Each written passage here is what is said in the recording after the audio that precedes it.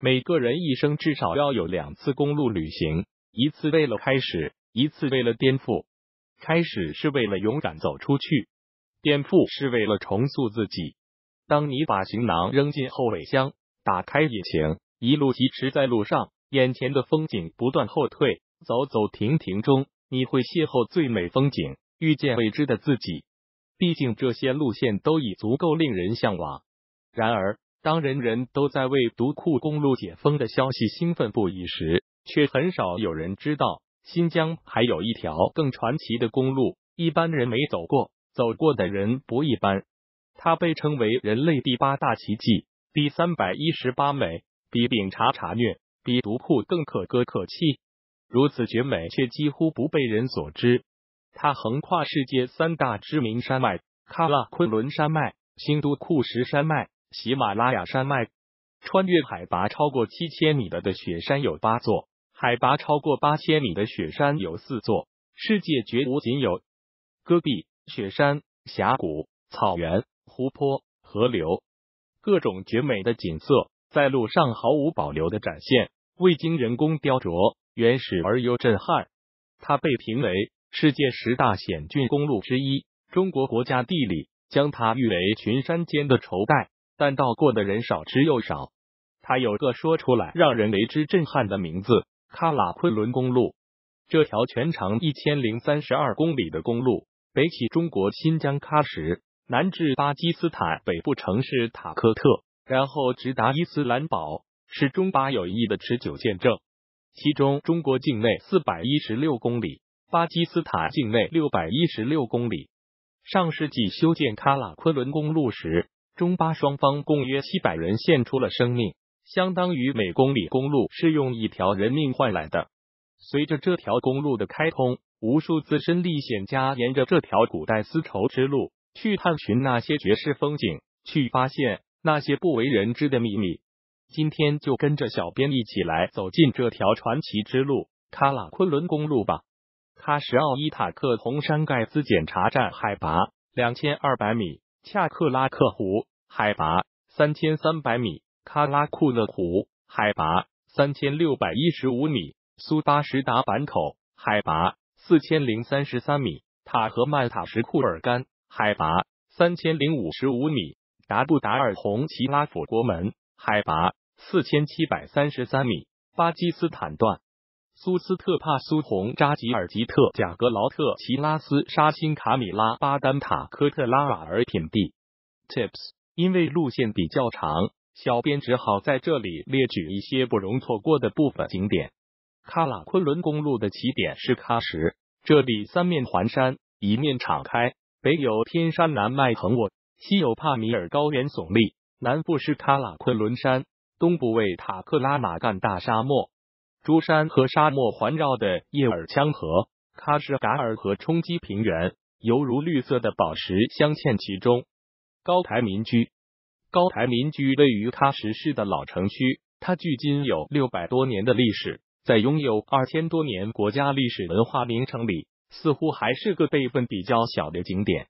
但高四十多米、长八百多米黄土高崖上的维吾尔族民居群，始终拥有一种特别的魅力。它也是我国唯一保存下来、具有典型古西域特色的街区，特别是土砖木结构。总能勾起穿越百年的古西域向往。阿帕霍加墓，《还珠格格》里的香妃其实真有其人，是历史上真实的乾隆皇帝的爱妃，因为对北京的气候水土不服而病终。这座精美阿帕霍加墓，则是他的衣冠冢，也是埋葬着阿帕霍加五代人的地方。墓室不大，却异常的精美，每一处都像用心雕琢的翡翠。墓室四周都用绿色琉璃砖贴面。是典型的维吾尔族古建筑风格。喀什大巴扎，它距今已有两千多年的历史，一直作为商旅往来的集中地。在这里可以见到各种与众不同的西域饰品，络绎不绝的人群，他们共同宣告着这座老城经久不衰的活力。奥伊塔克红山，选择自驾的路上，不需要可以寻找就能发现它，像一幅巨大的油画。走近细看，拱起的山崖身披裂纹，像是人为雕刻般不真实。出了喀什，穿过了舒富、就需要来到盖兹边检站，拿出证件过安检。过了边境站，进入克孜勒苏科尔克孜自治州阿克陶县境，就能看到纯洁的克拉克湖，仿佛梦境中的天堂。在湖的旁边是白沙山，就是白的沙堆积的山。经过数万年的风化，在阳光的照射下，与湖水交相闪耀着不同频率的反射面。Tips：听说现在的白沙湖被大水淹没，变成了布伦口水库，应该也会很美吧？穆士塔格峰山，穆士塔格峰山，它地处塔里木盆地西部边缘，是有名的冰山之父。围绕主峰两侧聚集了大量放射冰川，而且山上积雪常年不化，超级冷艳有型。在塔格峰山的旁边，还有两座主峰：贡格尔峰和贡格尔久别峰。它们三山鼎立，如同被冰封的山神，屹立在帕米尔高原上。它最有魔力的是，湖水会随着天气的变化而自动改变颜色，有绿有青，有蓝有黑，每一次都能变化不同的惊喜。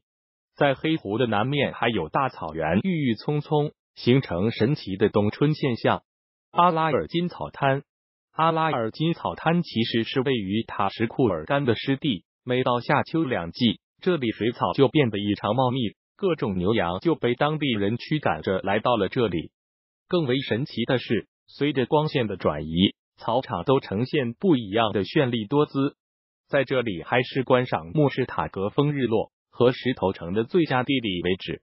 石头城坐落在高丘之上的这座石头城，古时是盘陀国的都城，是新疆境内古丝绸之路的一个重要战役。是在汉时就已经复修一次又一次的古老建筑。石头城外建有多层或短或续的城垣，乱石成堆，石丘重叠。昔日的辉煌早已随风远去，渐渐不再被记起。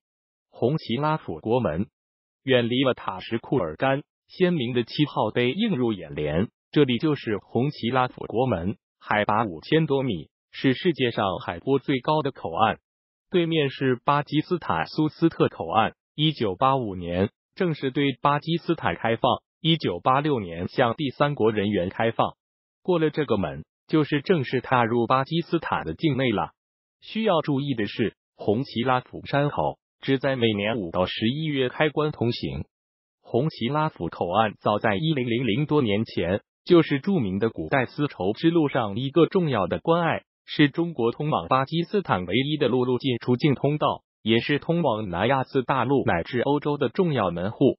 这里风光壮美，但环境恶劣，素有“死亡山谷”之称。生活在红旗拉甫山口周边的居民，多数是塔吉克族，他们被称为“天上人家”。走进红旗拉甫，就好像到了人间仙境。漂亮的塔吉克服饰，热情好客的塔吉克礼节。美味的塔吉克饮食，无不让人感受到了塔吉克族的淳朴、善良、友好。苏斯特千年古村，在中国与巴基斯坦最接近的一座小镇，当然是千年古村苏斯特。这里景色宜人，所有的房屋都坐落在山谷之中，蜿蜒的印度河在一旁奔腾而过，更是一种奇妙的体验。这个古村其实很小，大概只有一二十米的长度。他们一字排开，作为开车师傅的歇脚地，坐落在道路两旁。走在路上，不妨停住一晚，这漫天的星空一定不辜负你所望。它是全球冰川垂直差之最，差只有五千三百五十米。相比较隔壁的帕苏冰川，多了很多的粗犷和厚实。旁边的冰塔林在阳光下散发着幽蓝光芒。走到冰山边，你会感受到涛声震天的寒风之气。阿塔巴德湖，阿塔巴德湖是由巨大的塌方形成长达三十多公里的湖泊，受到无数中国人慕名而来，感叹这里的景色优美、安静、祥和。现在的阿塔巴德湖隔断了喀喇昆仑公路与巴基斯坦的联系，它很多时候作为水路代替喀喇昆仑公路，成为交通的枢纽，前往对面的民居。罕萨河谷，英国的作家詹姆斯希尔顿。来到汉萨都不禁被这里的美景给深深的震撼。在他举世闻名的《消失的地平线》这本书里，他称赞罕萨山谷是香格里拉，是世界五大长寿之乡。而日本动漫宫崎骏的《风之谷》的取景地居然也在这里。宫崎骏《风之谷》的取景地就是在 Kirkimabad 看过的小伙伴来到这里会觉得异常的亲切，所以这里聚集的日韩游客特别多，他们都是慕名而来。k i r k i m a b o d 距离 Altit 只需要二十至三十分钟，大多数游客会选择这里作为晚上的落脚点。村子不大，但村里的人都很淳朴善良，这里平静祥和，最适合晚上看星星。罕萨两个古堡 Altit 和 Bolted Fort。Altit 是罕萨国王最早的王宫，距今已经有近一千年的历史。它其实建在了海萨河边的山崖上，可以俯瞰整个喀喇昆仑公路。伊斯兰堡是一座年轻的城市，北依高峻的喜马拉雅山，面向宽阔的印度河大平原，东侧是秀丽的拉瓦尔湖，西侧是一片开阔的河谷地带，群山起伏，湖水清澈。是一个山清水秀的地方。巴基斯坦纪念碑位于伊斯兰堡和拉瓦尔品地之间，它在巴基斯坦相当于我国的北京天安门意义。纪念碑像一个艺术品，典雅大气。它们分别由四个大花瓣和三个小花瓣组成。四个大花瓣象征着巴基斯坦的四个省份，三个小花瓣象征着三块领地。参观门票只要二十元。游客大都是来自世界各地的外国人。拉瓦尔湖，拉瓦尔湖是巴基斯坦境内最大的淡水湖，在它的北部拥有最大的湖景公园，在这里可以钓鱼、游船、野外烧烤等一系列活动。来这里游玩的人特别多，但大多数是本地人。不妨考虑将伊斯兰堡的最后一站选在这里。七八月份的拉瓦尔湖一定是伊斯兰堡最凉快的地方。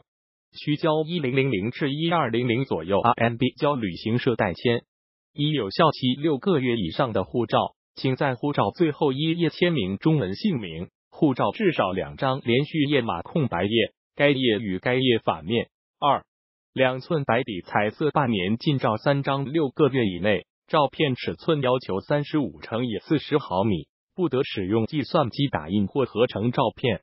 一巴基斯坦签证在北京或上海等城市申请，新疆没有办理签证的地方。二红旗拉福口岸可自驾出境，要把资料准备齐全，可以查询一下车辆出境的有关手续。出中国口岸需要提供 ATA。三到达中国边境地区，游客要有边防证或出国的签证才行。四建议使用车辆性能比较好的越野车，更能驾驭各种不同的路况。五进入巴基斯坦最好使用 Google 地图导航。图片来源网络。审核：月之终审，海风。